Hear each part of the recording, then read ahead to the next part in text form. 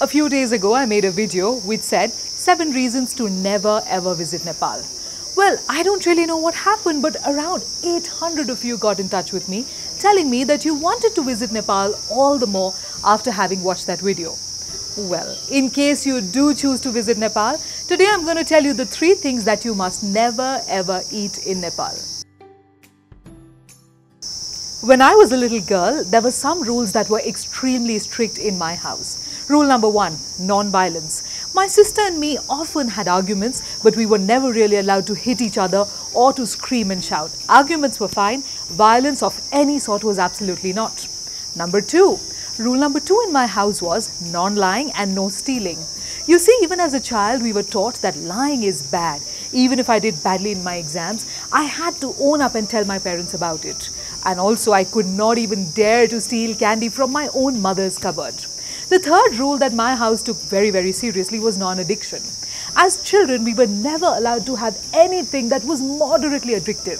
Till date, I don't have tea and coffee because I've just been programmed to believe that they're addictive and you mustn't have them. However, I came to Nepal in 2006 and all that was about to change. You see, when I came here, I was exposed to this phenomenally rich food culture that they have here. Here, food is not just something you eat to sustain yourself. Food is a way of life. Food is celebrations. Families get together over conversations and elaborate meals. Food is a great way for people to bond and come together. Food is prepared using different spices in different parts of the country and the method of preparation is also very, very different. You see a lot of influence of Tibetan cuisine here. Thakali cuisine is extremely popular and it's an extremely high carbohydrate diet. Newari cuisine is a high protein diet and it's very, very, very good for the meat lovers. There are many, many varieties available. Also, cuisine from the Tarai and Tharu cuisine are extremely rich.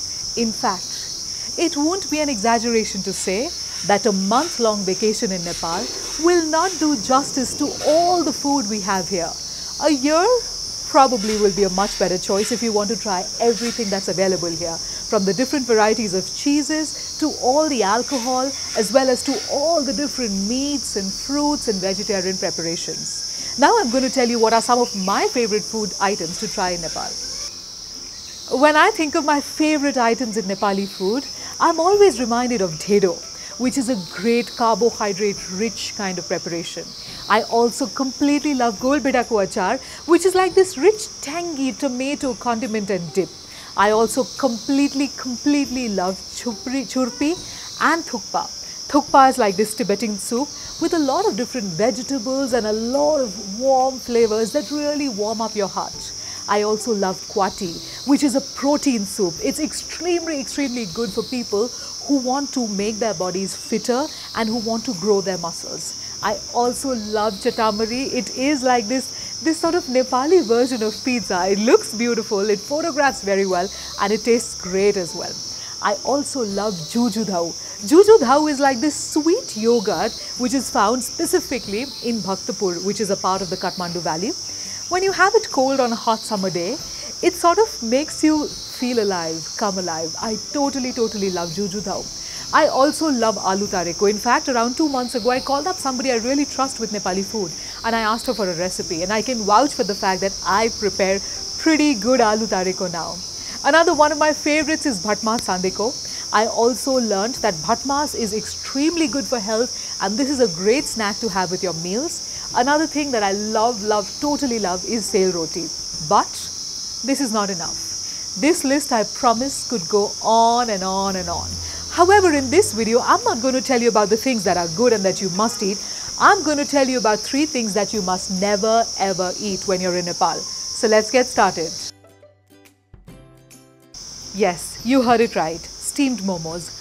I believe that nothing, nothing in Nepal can rival the popularity of the humble steamed momos. You see, steamed momos in Nepal are a meal, a snack, and also an indulgence. Steamed momos are everywhere. They're like these perfect little bites of heaven that you get to experience on a daily basis. What exactly is a momo?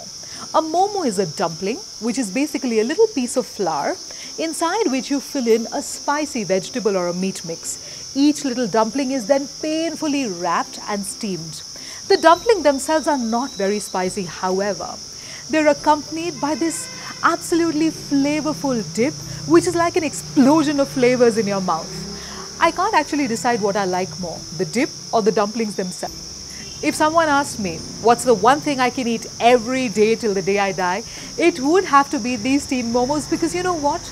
Not only do they warm up my heart, they also satisfy my soul. The other great thing about steamed momos is that they're available everywhere and there's one for every budget and one for every palate. However, these cute looking, innocent looking, absolutely delicious pieces of heaven hide inside them some absolutely evil powers. Let me tell you about them. You see, I'm a very decisive person. Every time I go to a restaurant, I know exactly what I want to eat. However, on the other hand, my husband is completely indecisive. He has this very strange habit. Every time he goes somewhere, he looks through the entire menu, front to back, and then back to front, up to down, down to up. He'll take 10 more minutes, scratch his head, and then he'll call the manager. He'll ask the manager what's the special of the day.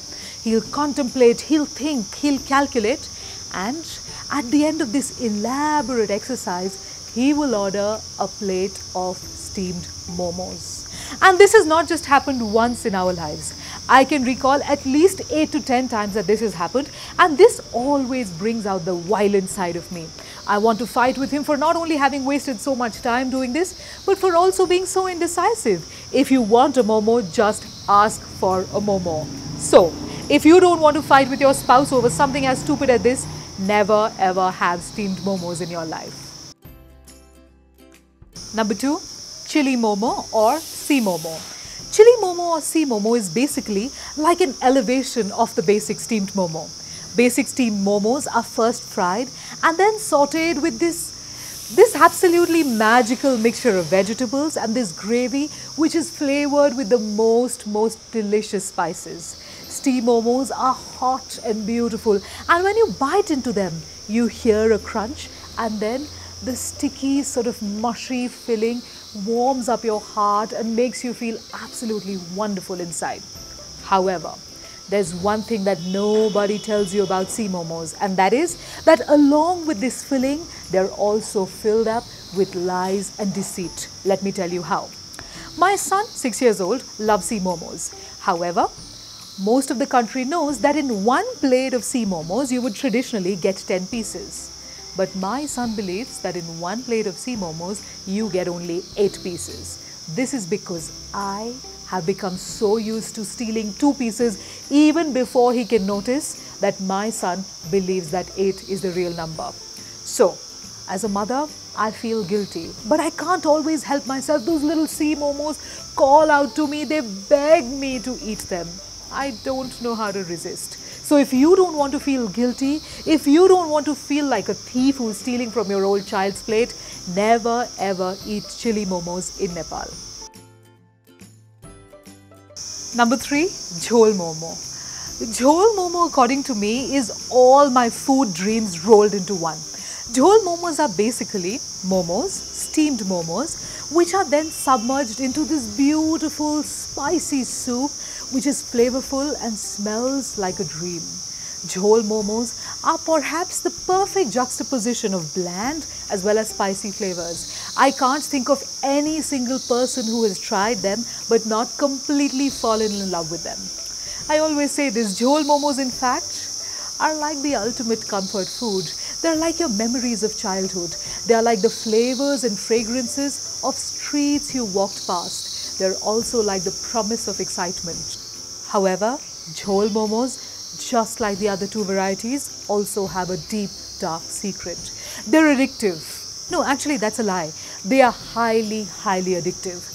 You see, I'm not addicted to anything else in the world, but every Saturday morning, I can feel this familiar longing in my heart and my stomach. I know that's only going to be quenched if I have my share of jhol momos. So, if you don't want to feel that pain, if you don't want to feel that longing for something that you can't have, never ever have jhol momos in Nepal. Here is a bonus tip for you.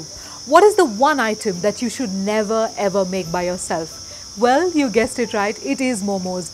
Because you see, any variety of momos takes around 2 to 3 hours to make. And you absolutely end up filling yourself up and finishing whatever you've made within five minutes. Why would you want to do that? Leave this job to the specialists. There are many, many amazing, amazing restaurants all around Nepal that specialize in momos that are sure to please you.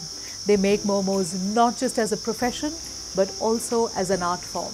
For them, making momos is not just filling up these little dumplings with meat and spices and vegetables, but also with blessings from their ancestors. So if you live within Nepal, never ever make momos. Order them from some of the most amazing restaurants we have. However, if you live outside Nepal, I do understand that you all get together and bond over momo making. Do that. Have a momo party and share the love around these very, very, very, very important parts of Nepali food cuisine. But there are so many varieties of momos, even apart from these three, that sometimes I feel there's one for every season. There's one for every reason. There's one for every occasion. There's one for every celebration. But momo is not just a food, it's an emotion, it's a connection.